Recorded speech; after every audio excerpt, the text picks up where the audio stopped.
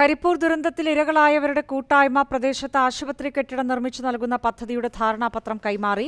കരിപ്പൂരിൽ നടന്ന ചടങ്ങിൽ പരിക്കേറ്റവരും കുടുംബങ്ങളും രക്ഷാപ്രവർത്തകരും ജനപ്രതിനിധികളും പങ്കെടുത്തു.